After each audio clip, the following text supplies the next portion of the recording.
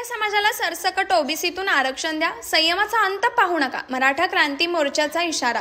मराठा समाजाला पन्नास टक्केच्या आत आरक्षण मिळालं पाहिजे. ओबीसीतून आरक्षण मिळू शकतं. मराठा समाजाच्या आत्महत्या सातत्याने होत आहेत. त्या सरकार अजूनही रोखू शकलेलं नाही.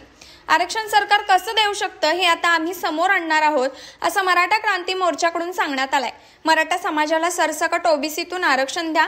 संयमाचा अंत पाहू नका असा इशारा मराठा क्रांती मोर्चानं दिला. मराठा क्रांती मोर्चाचे सुनील नागणे आणि प्रतापसिंह पाटील यांनी पत्रकार परिषद घेत भूमिका स्पष्ट केली. पत्रकार परिषदेत मराठा क्रांती मोर्चाने सांगितलंय की आयोग पुनर्रचना करून मागासलेपण सिद्ध करायला सांगायला हवं.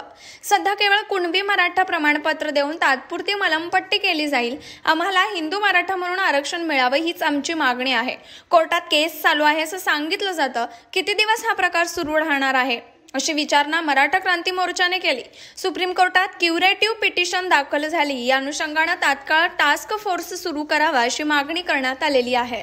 माझं नाव प्रतापसिंह कांचन पाटील मराठा सेवक. आजची पत्रकार परिषद केवळ मराठा समाजाला ओबीसीमधून पन्नास टक्केच्या आरक्षण मिळवलं पाहिजे यासाठी आहे. आणि जे काही क्युरिटी पिटिशन सरकारने त्या ठिकाणी सुप्रीम कोर्टामध्ये दाखल केलेली आहे त्याच्यावरती सरकार अजून गंभीरपणे काम करत असताना दिसत नाही. आणि म्हणून सरकारने त्या ठिकाणी गंभीररित्या पावलं उचलली पाहिजेत आणि मराठा समाजाला न्याय दिला पाहिजे.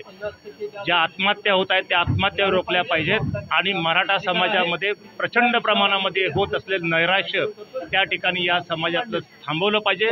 जो असंतोष समाजामध्ये होत आहे तो असंतोष थांबला पाहिजे आणि मराठा समाजाला सरसकट ओबीसीमधून मराठा म्हणून आरक्षण त्यांनी तात्काळ दिलं पाहिजे. तात्काळ सरकारनं आता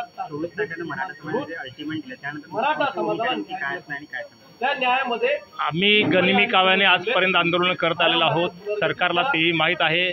सरकारने जर दोन दिवसामध्ये याच्यामध्ये तातडीची पावलं उचलली नाहीत मराठा समाजाला आरक्षण दिलं नाही तर आम्ही मुंबईच्या दिशेने परत एकदा लॉंग मार्च काढू. तेही लाखोंच्या संख्येने. समाजाचं शेवटचा इशारा दिलाय की मराठा समाजाला एकतर पन्नास टक्केच्या आत आरक्षण दिलं गेलं पाहिजे. अन्यथा सध्या जे रिव्ह क्यू पिटिशन दाखल आहे सुप्रीम कोर्टामध्ये त्याच्यावर तात्काळ काम सुरू केलं पाहिजे. त्यामधून सुद्धा की आम्हाला आरक्षण मिळू शकतं. तोही एक संधी आहे आणि मराठा म्हणून मिळू शकतं. त्यासाठी आम्ही आज ठिकाणी या पत्रकार परिषदेमधून घोषणा केली. आम्ही सांगितलंय की येणाऱ्या दोन ते तीन दिवसामध्ये सरकारने टास्क फोर्स निर्माण करावा. मराठा समाजाला आरक्षण जे गेले चाळीस दिवसामध्ये कसं देणार हे सांगितलेलं नाही. त्यामुळं महाराष्ट्रामध्ये सरकारविरोधी जे काय वातावरण तयार व्हायला लागलेलं आहे ते वातावरण बरोबर होणार नाही.